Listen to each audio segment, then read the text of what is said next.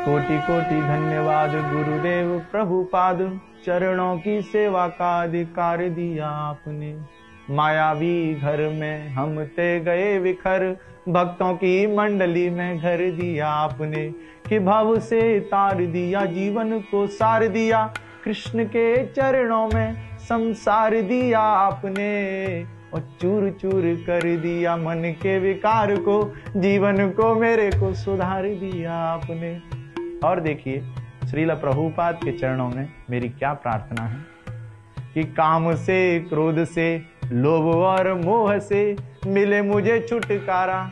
प्रभुपाद, मेरी विनती, वैष्णवों के संग से मन ना हो न्यारा।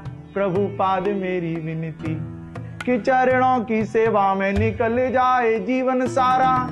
प्रभु पाद मेरी विनती और साधना भक्ति का अंग अंग लगे प्यारा।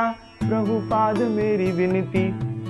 तेरह जुलाई सन 1966 में न्यूयॉर्क में अभय चरणार बिंद भक्ति वेदांत स्वामी श्रील प्रभुपाद ने अंतर्राष्ट्रीय कृष्ण भावनामृत संघ की स्थापना की, जिसको विख्यात रूप से हरे कृष्ण मूवमेंट के नाम से जाना जाता है।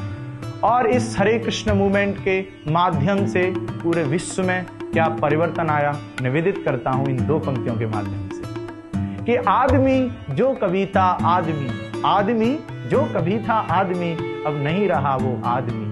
और बनाने को इस आदमी को आदमी श्रील प्रभुपाद ने खोली, ये कृष्ण भावनामृत अकादमी। हरे कृष्ण।